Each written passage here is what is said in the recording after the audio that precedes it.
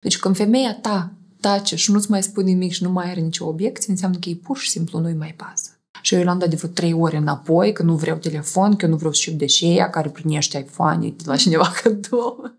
Dacă nu erau alte chestii pe care el le-a făcut, probabil înșelatul mi era foarte ușor să îl iert. Vreau să merg pe stradă și să nu simt cum se întorc privirile și cum gurile vorbesc. Nu poți să aștepți de la un om care în mahală se manifestă cum se manifestă, pe internet se manifeste diplomat, politicos și educat. Salut! Sunt Doina Danielian și vorbim la 1 noapte. Ce se întâmplă în viața mea la moment e magie. E vis care a devenit realitate. E fericire. E soare, e zâmbet zâmbete de copii care inundă o casă pe care am visat-o mult, brațe puternice pe care pot să mă las și să plâng, să râd împreună cu el, mână de care mă țin și pași pe care pot să-i urmez cu încredere. Fericirea pentru mine acum este ceea ce odată detestam, invidiam, dezapreciam. Fericirea pentru mine acum este familie, copii, soț, părinți sănătoși și apoi restul, rând pe rând, în ordinea priorităților. Eu am învățat în timp, uh, fiind un om al emoțiilor, să nu acționez la fierbințeală. M-am fript de foarte multe ori acționând uh, pe pașii emoțiilor de moment și spunând, făcând ceea ce îmi dictau emoțiile de mine atunci când eram încă fierbinte și ardea totul în mine. După care, văzând cât de mult poate asta să-i afecteze pe cei din jurul meu, poate să-i rănească, am învățat să inhib emoția de moment, să o trăiesc pentru mine, în mine, după care uh, să acționez, dacă mai e cazul. Pentru că de foarte multe ori am avut emoții fierbințeala de moment pe care am dat-o în afara mea, am afectat și am făcut rău celor din jur și ulterior, după ce m-am stins, am zis, dar de ce am făcut eu asta? Da, poate mai bine analizam un pic, uh, clocotea totul și apoi acționam dacă mai era cazul, că de multe ori nu-i cazul după ce îți treci fierbințeala. Dacă vorbim de faptul că avem uneori momente de fierbințeală, că toți le avem, nu există cuplu în care să nu existe certuri. Dar nu există pe lumea asta. Este foarte bine să comunicăm cu omul de lângă noi și să-i spunem chiar și ce ne deranjează pe moment și chiar și ce ne doare și chiar și ceea ce cocotește în noi. Dar uh, e important să-i o spunem uh, și să fim auziți. De exemplu, în căsătoria mea anterioară, eu aveam momente în care clocoteam, vorbeam, plângeam, dar nu eram auzită.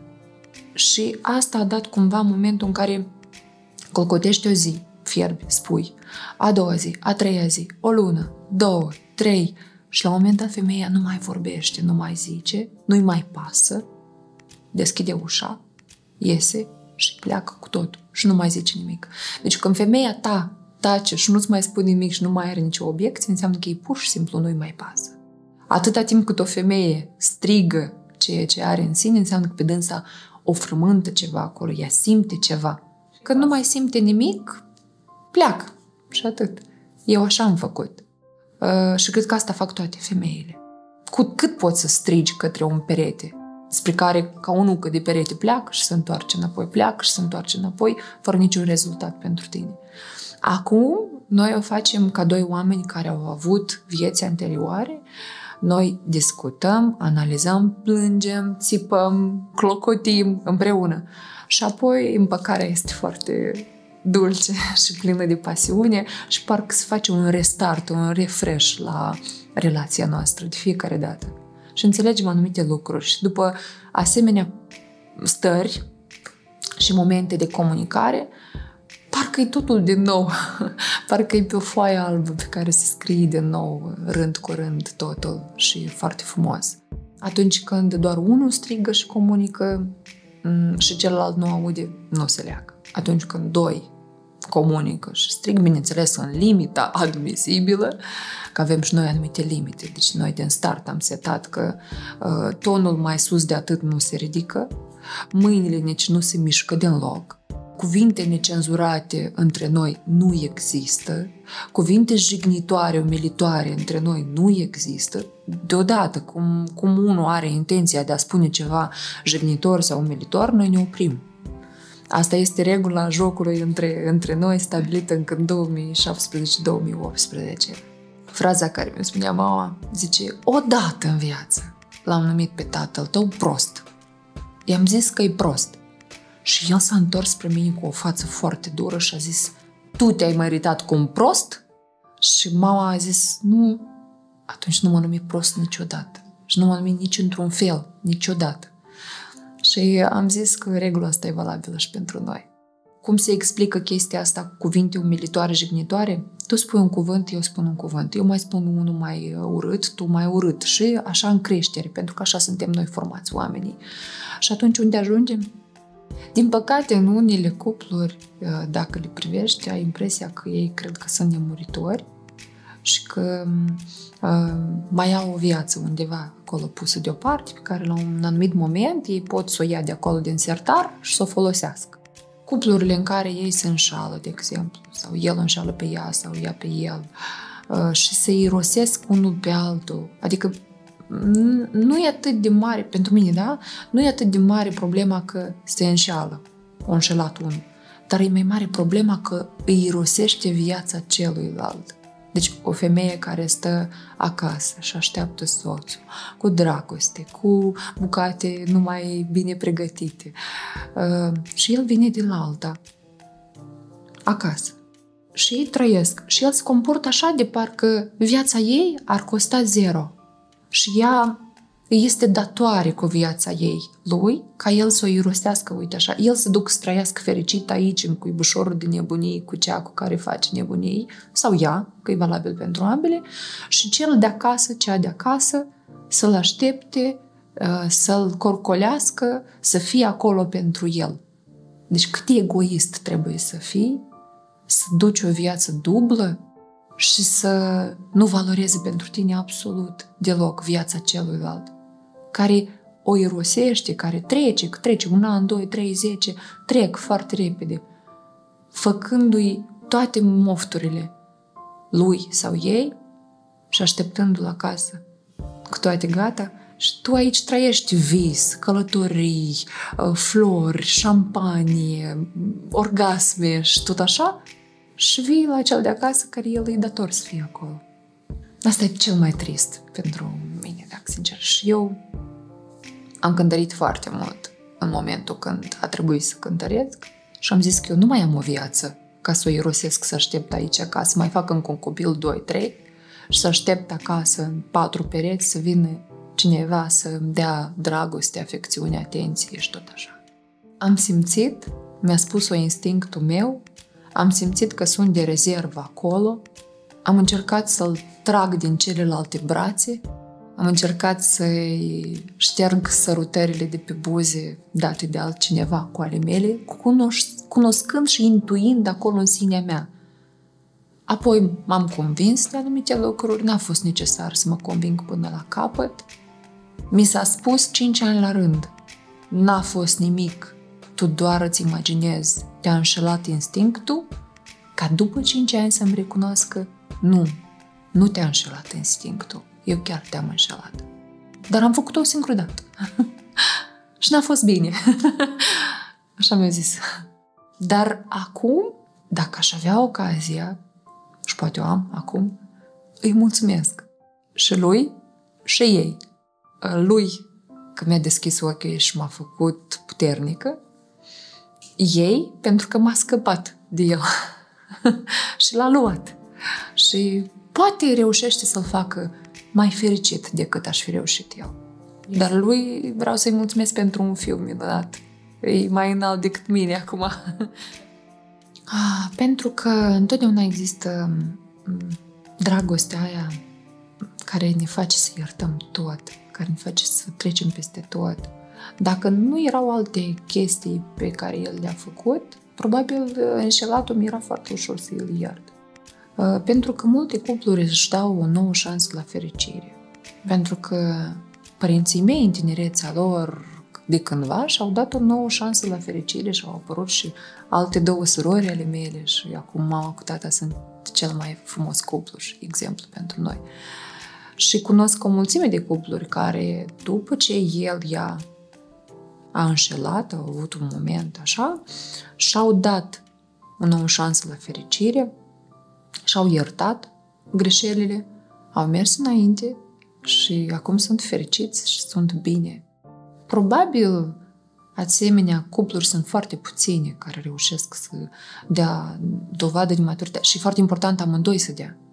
Pentru că atunci când ea iartă și el continuă să o facă, asta e... Sau când ea iartă și să mănâncă în sine acolo pentru faptul că uite ce-a făcut și seara de seară și mai scoate ochii și certurile sunt încă la tema dată, e foarte complicat, e foarte greu. Eu cu asta n-aș putea să trăiesc. De asta și n-am dat înapoi. Dar, în același timp, momentul în care văd un cuplu care s-au iertat reciproc și care au reușit să treacă peste și sunt cu adevărat fericiți și sunt bine împăcați cu sine și au reușit să salveze familia, cumva îi invidiez frumos că au fost capabili de asta, că au reușit. Adică subiectul ăsta pentru mine e cumva nu bilateral, dar trilateral sau nu știu, adică cum foarte multe laturi și cu toate eu sunt ok, sunt împăcată. Și oricare decizie ar lua un cuplu aflat într-o asemenea situație, eu cred că e cea mai bună decizie pentru că este a lor și este asumată și este cântărită și este o decizie pentru fericirea lor, dacă ei așa consideră. Dragostea pentru mine este egală cu respectul din respectul pe care îl ai pentru omul de lângă tine, tu ești capabil să faci atât de multe lucruri frumoase pentru el și iată, ceea ce se naște din acest respect, ceea ce rezultă din acest respect, este dragostea. Dragostea este mult mai mult decât te iubesc. Eu i-am spus lui Vasile te iubesc după patru ani de relație. Noi nu ne spunem în fiecare zi te iubesc. Dar noi în fiecare zi ne spunem, ai grijă de tine, ce ai mâncat astăzi, cum este micuța, cât de frumoasă ești, uh, cât de scump ești, sau îmbrățișări în care nu vorbim, uh, în care noi stăm îmbrățișați minute în șir și simțim palpitațiile astea dintre noi, căldura dintre noi. Asta este dragostea. Copiii noștri alergând prin casă, uh, micuța noastră este dragostea noastră, noi așa și spunem că este născută din dragostea noastră cu totul alte uh, definiții ai pentru dragoste după ce treci prin anumite momente ale vieții. Și cu fiecare 10 ani din viața noastră vedem altfel dragostea. Ajungem probabil la 50-70 de ani și spunem că dragostea este momentul în care te, te ajută și te ridică de jos sau îți dă o cană cu apă. Ajungi la fiecare etapă a vieții să denumești altfel dragostea. Știi, eu recent am lansat o carte și în cartea mea este o paralelă, deci mersul, firul cărții este pe alocuri rupt și acolo scrie Femeia de aproape 30 care sunt, iar dau un sfat adolescente de atunci, care plângea foarte mult pentru niște uh, iubiri imposibile și uh, chestii ale vieții. Și acolo în jos merge sfatul. Deci cam în felul ăsta probabil uh, ar fi ok să ne oprim peste ani și să revedem viața noastră și să ne dăm niște sfaturi. Dar chiar dacă aș fi acum în fața ta, ar fi două doine. Cea care, uite, sunt aici și încă una de 18-19 ani. Cu siguranță, cea de 18-19 ani nu o să o asculte pe cea de aici, pentru că cel mai bine înveți când treci prin ea. Și de multe ori stau și mă, mă gândesc bine. Dacă atunci când mama mi-a dat sfatul la 20 de ani, 19-20 de ani, îi ascultam sfatul ei și nu treceam prin tot ce am trecut, aveam să mai fiu cea de azi? Aveam să mai înțeleg anumite lucruri altfel decât să trec prin ele? Deci, ori este necesar uh, ca tinerile să treacă prin ce au de trecut ca să înțeleagă, dar niciodată să nu se lase jignite, umilite, lovite, atinse de cineva și să meargă doar înainte unde au de mers și unde știu că vor să meargă și să nu uite de unde au pornit.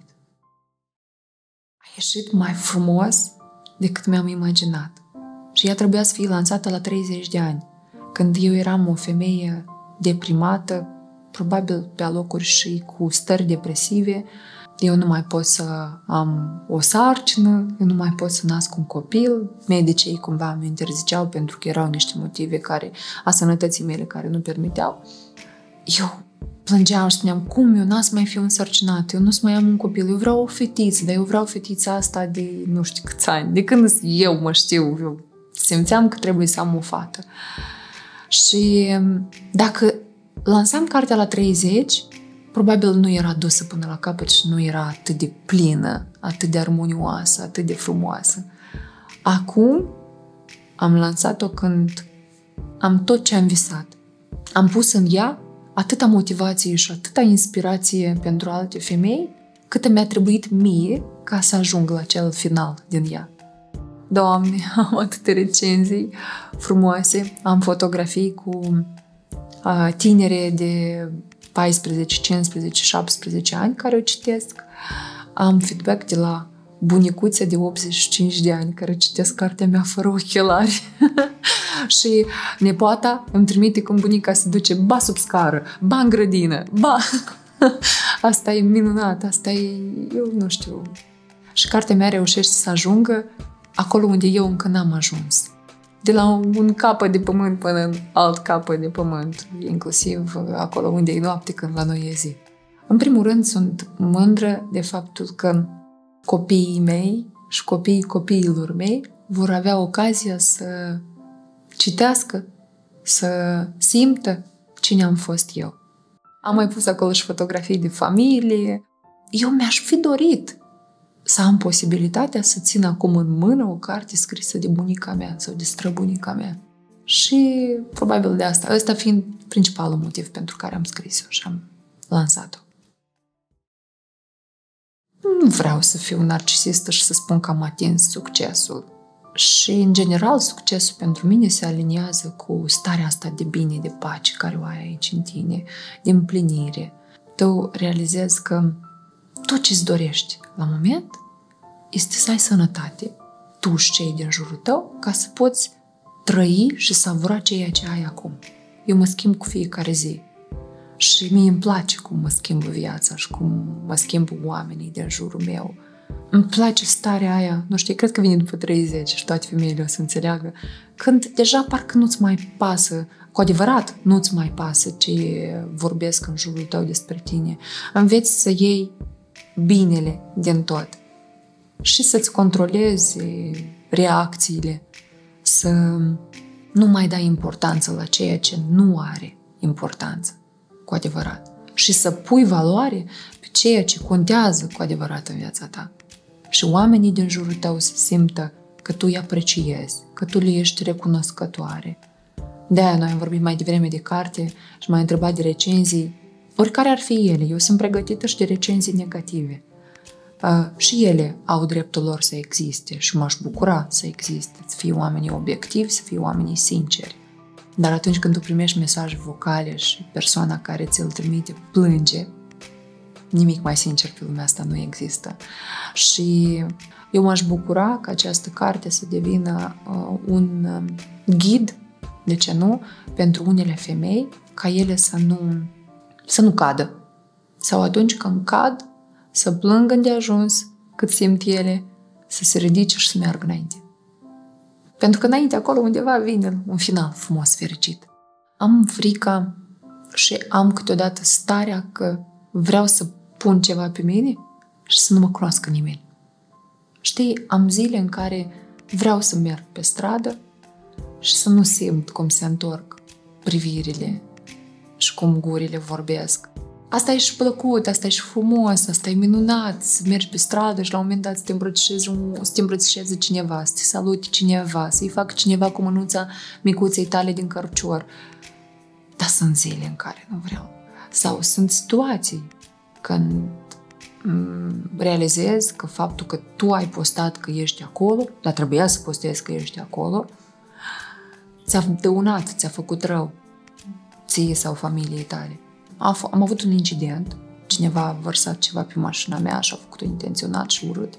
Și atunci eu am zis, trebuie să mă controlez și trebuie să cântăresc ceea ce arăt lumii și ceea ce spun lumii și ceea ce împart cu lumea. De multe ori fac postările după ce plec din acel loc. Dar eu nu pot să arăt lumii un neadevăr sau ceva ce nu corespunde cu viziunile mele, cu gândurile mele, cu ideile mele, cu modul meu și felul meu de a fi. Și atunci eu ori zic, ori nu zic deloc. Ceea ce nu are locul sau nu uh, sunt gata să împart cu lumea, o mai las un pic. Cu toate că cu sarcina n-am putut să tac nicio oră. Da, deci eu am tăcut două zile, am ținut sarcina doar pentru mine și sora mea, care era cu noi cazată în Grecia, și după ce i-am spus soțului, următoarea întrebare a fost pot spun pe internet, pot spun pe Instagram, eu vreau să le spun la femeile cele care ne îmi spuneau încurajări, care îmi spuneau, Doina, nu plânge, că o să urmeze, o să fii însărcinat, o să vezi, o să ai un copil, eu mă rog pentru tine. Femeile îmi trimiteau fotografii, duc la mănăstiri și pun lumânări pentru mine, ca eu să reușesc să fiu însărcinat. Cum eu să nu le spun? Cum eu să țin ascuns asta? Dar un copil nu se ascunde, un copil e ceva minunat, mai ales în cazul meu. Cum eu stac?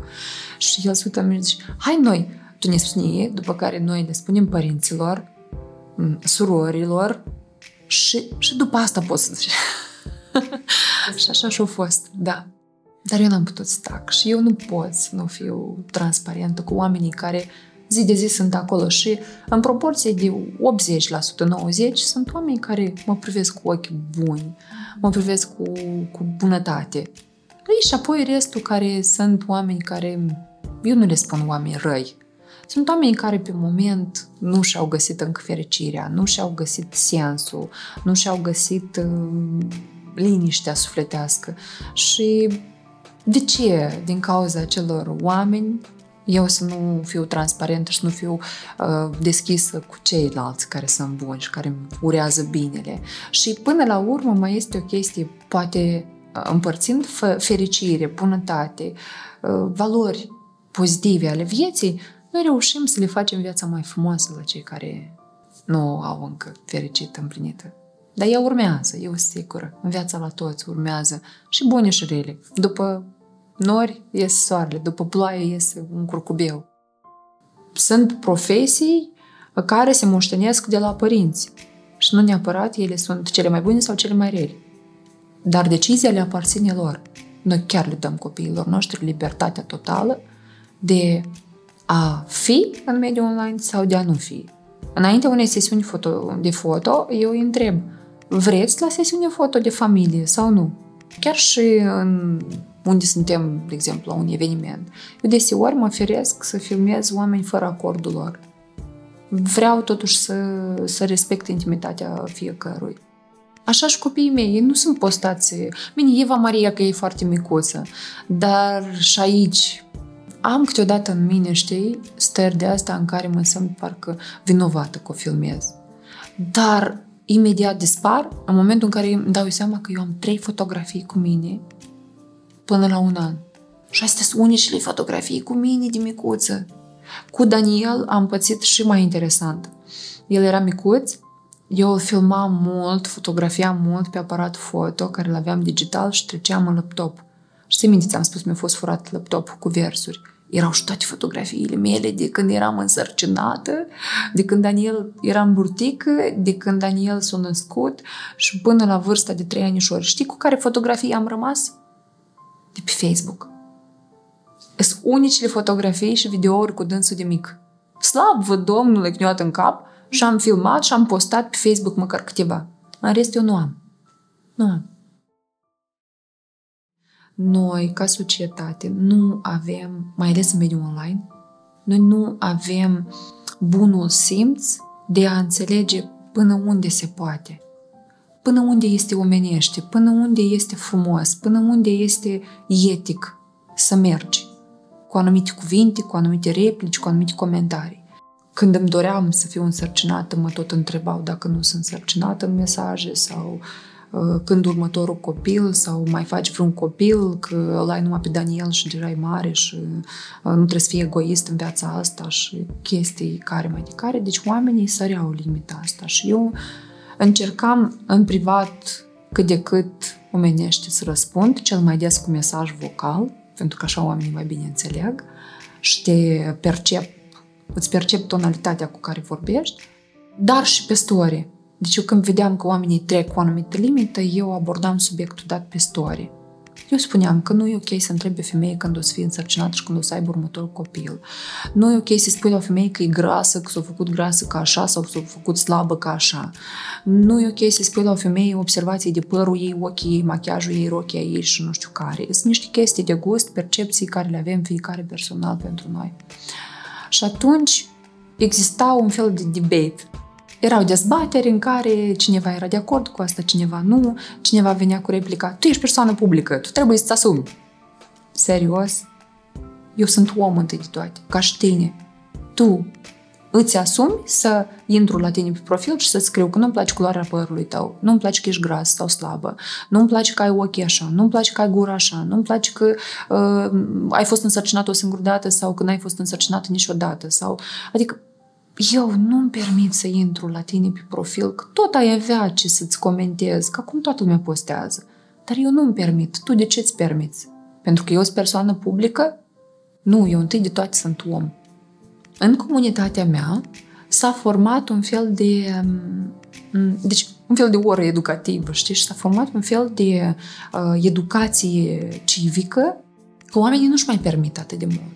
Oamenii nu-și mai permit să facă atac legat de religie, sex, kilograme și tot așa. De unde mi-a scris cineva, dar nu mi-a scris cu rău, eram conștientă de asta.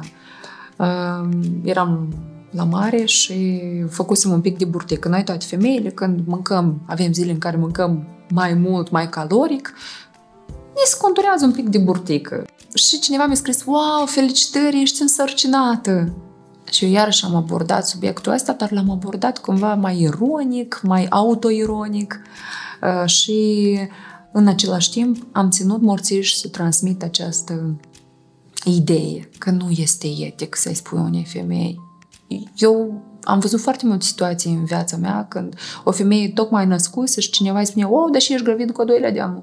Însă nu, se, nu s-au retras organele, nu, s-au, nu și-a revenit organismul ei, corpul ei și lumea deja o întreba dacă e însărcinat cu a doilea pentru că are burtă. Dar cum vrei să fiu? Top model la o lună de la naștere sau la două sau la trei? Nu arătăm perfect și este foarte bine să le arătăm oamenilor, femeilor, în deosebi, că noi tot avem vergeturi, noi tot avem sâni lăsați, noi tot avem un sân mai mare și unul mai mic. Apropo, am primit un mesaj jignitor la faptul că sânul drept îmi este mai mare decât stângul. Eu încă alăptez și corect, alăptez mai mult dintr-un sân.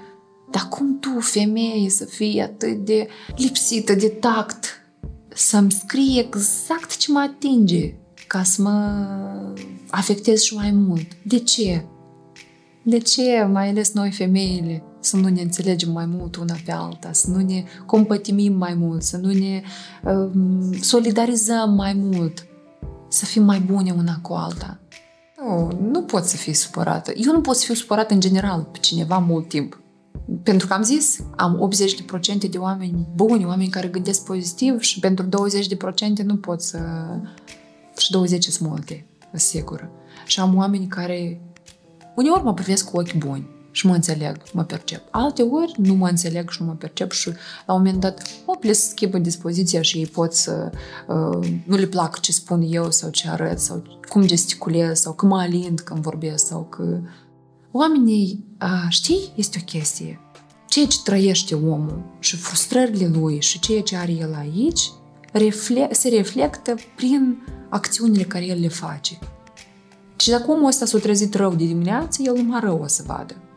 Dacă el s-a trezit bine de dimineață, are motive să fie fericit, să zâmbească. El numai bine o să vadă. Am avut des, am avut des oameni care am aflat prin alți oameni că au făcut ceva, au zis ceva despre mine de rău sau...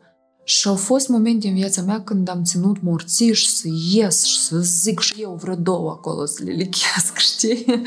și să caut să, să-i fac și eu înapoi, știi? Asta a durat nu mult, Și eu am înțeles că asta mă consumă. Și am început să resping, dar așa, politicos, oamenii care îmi trimit sau îmi spun ceva despre alți oameni. E ca și la auzit așa, uh, așa eu zis așa, așa eu zis așa, așa eu făcut așa, eu te-o arătat despre tine, eu te și despre tine. Și eu scriem înapoi, nu, asta nu e despre mine. Nu mai trimite asta, te rog, că nu e despre mine. Nu înțeleg care e scopul tău că îmi trimiți și mă, mă ațâți. Oamenii în online, în deosebi, vine și în viața de zi cu zi. Într-o mahala te duci și găsești un om de ăsta care el e însetat de ceartă, de ranchiună și tot așa. Și el în felul ăsta își exprimă frustrările lui că el este unde este și cum este. El nu ridică mâinile să facă ceva să fie și la dânsul bine, dar el caută și la vecin să fie rău. Asta e valabil și în mahala. Bârfile au fost întotdeauna printre garduri, prin mahăli, da? Și el a trecut în mediul online, pentru că noi în mediul online am trecut fiecare cu frustrările lui, cu educația lui, cu felul lui de a fi. Noi am venit din măhăli, noi am trecut pe internet. Dacă înainte strigam peste gard, Jenia, vine să ne jucăm. Amu, tu intri pe internet și îi scrii la omul ăla sau vezi pe story ce-a făcut sau îi comentezi, da? Respectiv, pe online, oamenii au venit cu tot aceeași ce era și este în Mahel. O adus totul pe online și fiecare se comportă pe online exact cum s-ar comporta și cum se comportă zi de zi acolo în viața reală. Ajungem să realizăm că realitatea și internetul devin una și aceeași. Și fiecare se manifestă exact așa cum poate. Nu poți să aștepți de la un om care în mahală se manifestă cum se manifestă, pe internet se manifeste diplomat, politicos și educat. Nu, pentru că el asta n-are. Și atunci noi avem mult de lucrat la capitolul ăsta. Dar să ne supărăm și să ne răzbunăm înseamnă să coborâm la nivelul lui. Au fost foarte multe momente în care eu, gata, scrisesem comentariu tot, tot, tot să răspund la omul acela înapoi și să-i dau exact cu aceeași replică și cu aceeași monedă. Și am făcut-o. Știi care a fost răspunsul? Ești arogantă. Adică el scrie urât, nepoliticos, jignitor. Eu îi răspund cam în aceeași manieră și îmi scrie, fu, și arogantă ești. am înțeles că asta nu-mi face bine și am încetat să o mai fac. Cel mai bine este să-i dai voie omului să manifeste ce și are de manifestat pe moment. Câteodată stași, dar părerea noastră trebuie să ajungă până limita părerii noastre este până acolo unde treci deja la jignire, la atac la persoană și pentru asta există legi deja. Ceea ce se obține ușor nu este prețuit. Deci, iată, în viața asta m-am convins de veridicitatea acestei afirmații de nu știu câte ori. Banii care i-am obținut ușor, nici n-am reușit să-i simt. Atunci când întâlnești anumite obstacole în realizarea care tu ți-o propui, acea realizare, atunci când vine după, prin obstacole, este mai dulce, este mai uh, apreciată de tine, mai simțită. Așa că eu uh, mă împac foarte bine cu obstacolele. Când obosesc, mai beau un gât de apă și merg înainte. Ar fi minciună să spun că nu sunt materialistă. Sunt aur, nu știu dacă e legat de zodie, dar mie îmi place confortul, luxul, siguranța. Cu asta am spus totul. Dar muncesc. Taur în anul calului înseamnă muncă. Dă-i foială, dă din coate. Și tu n-ai furat, n-ai bătut pe nimeni, n-ai făcut ceva ilegal pentru ceea ce tu ai la moment. Știi? Ești împăcat cu sine și tu poți să savurezi asta. Probabil oamenii care fac ilegalități ca să obțină ceva, nu simt satisfacția asta care o simt oamenii care muncesc pentru scopurile lor și prin obstacole le obțin. Ei, dar câte ori a fost zero? A fost mai jos de zero. A fost zero și credit de achitat. Asta doare. Eu am avut momentul ăsta în 2013, când uh, eu aveam multe și de toate și la un moment dat eu trebuie din multe și de toate să-mi iau copilul și mașina și să vin în oraș. Și încă să pățesc un accident pe sensul giratoriu, cineva a dat în mine și eu am rămas fără mașină, respectiv fără nimic, eu altceva n-aveam. Și a fost greu. Dar dacă aș mai cădea odată, aș ști cum să mă ridic. Telefonul. a fost cel mai scump cadou Și eu l-am dat de vreo trei ore înapoi, că nu vreau telefon, că eu nu vreau să știu de șeia care primește iPhone de la cineva cadou. Dar în rest n-am avut cadouri foarte, foarte scumpe. Dar eu am făcut cadou vacanțe de 3000 de euro. Eu mai mare satisfacție primesc când fac cadouri decât când le primesc. Nu știu de ce. Când le primesc, parcă mă simt incomod. Parcă, da, și asta înseamnă că noi ne subapreciem, da? Să trăiești flexibil în dependență de circumstanțe cu valorile tale, asta înseamnă să le fii pe plac celor din jur în totalitate, să încerci să le fii pe plac la toate categoriile de persoane. Și iată, eu asta nu, nu pot să accept. Adică, dacă eu nu împărtășesc o valoare, pur și simplu nu pot să, să trec peste ale mele ca să le împărtășesc pe ale lui. De aceea, probabil, eu am fost uh, la un moment dat în centrul unui mare scandal, când valorile mele nu se pupau cu valorile acelor oameni, greșeala mea cea mare a fost că eu am spus-o public.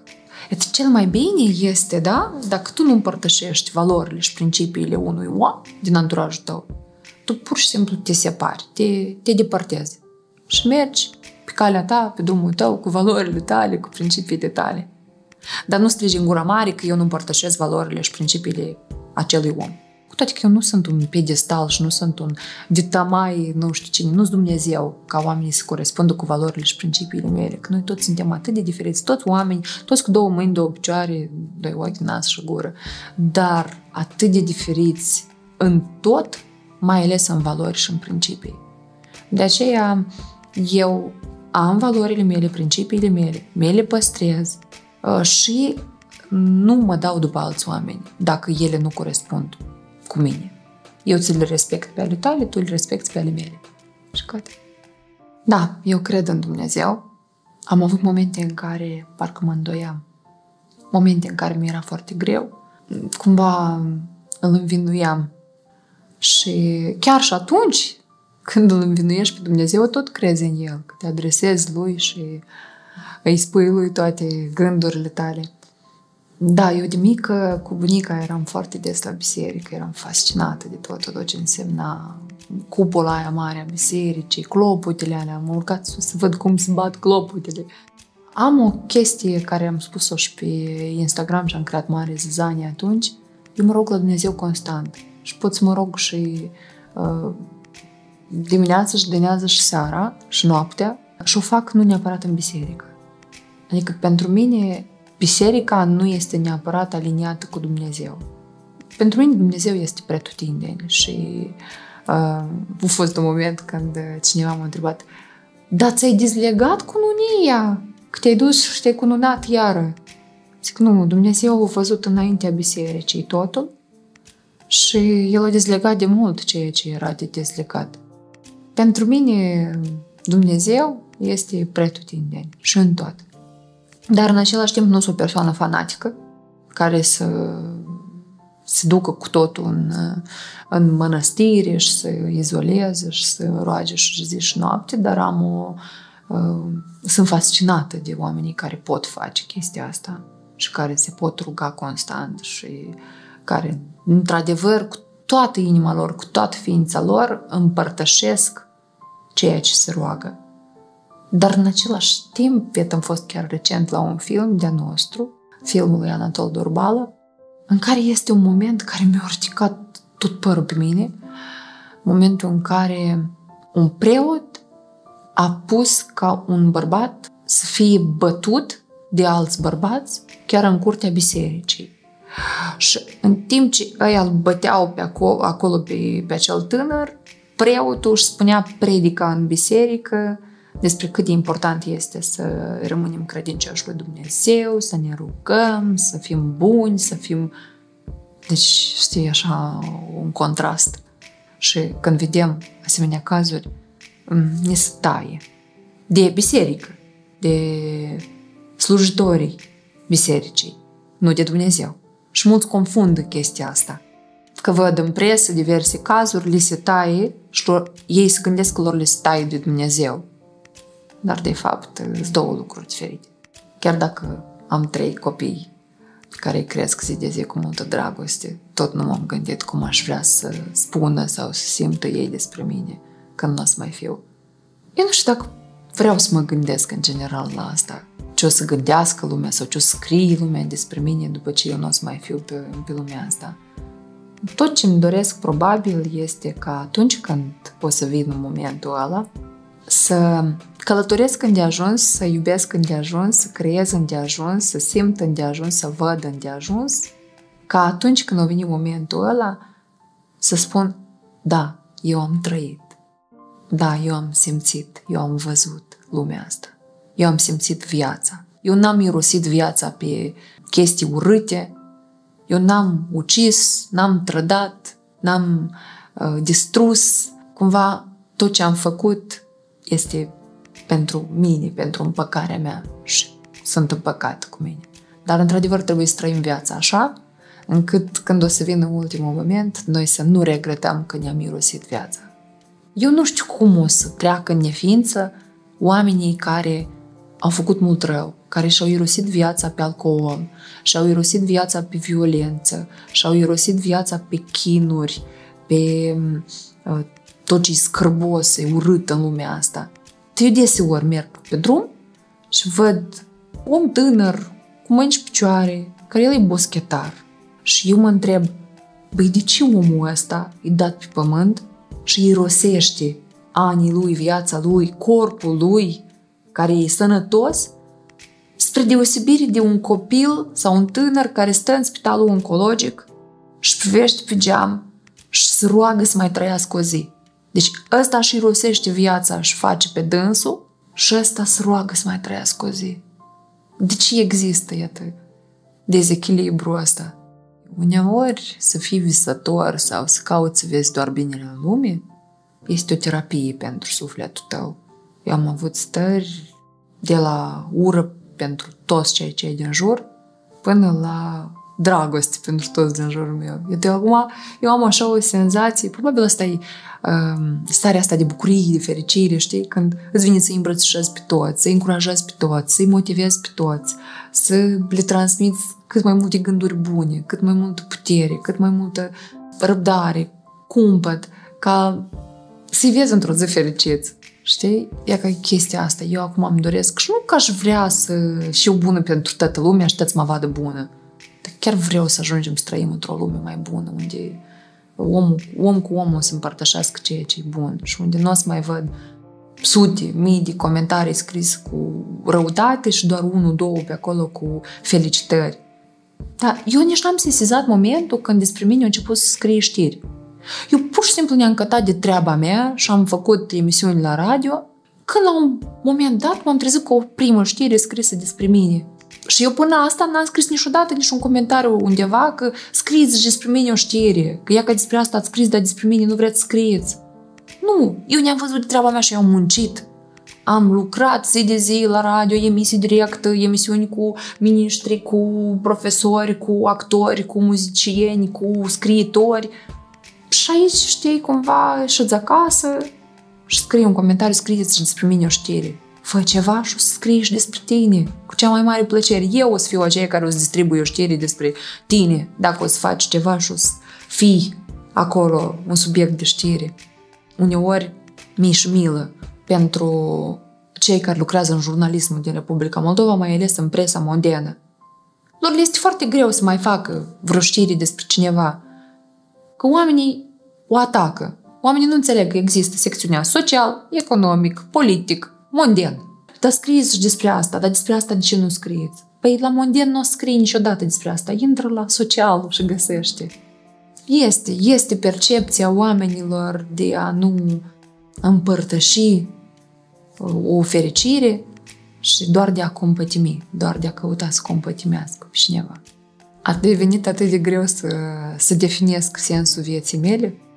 Tot ce trăim noi ca oameni este cumva trecător, etapă după etapă. Când suntem mai mici, spunem sensul vieții noastre sunt părinții. Apoi părinții pleacă. Facem copii. Facem copii și spunem sensul vieții noastre sunt copii. Apoi copiii pleacă. Sensul vieții mele la moment este să dau și să primesc energie, emoții, trăiri. Și dau, primesc la familie, e un schimb reciproc de energie și la oamenii din jur, comunitatea în care trăiesc. Știi cum vorba aia, să fac o fântână, să sădesc un pom, să fac un copil, să cresc un copil. Rând pe rând le ating pe toate.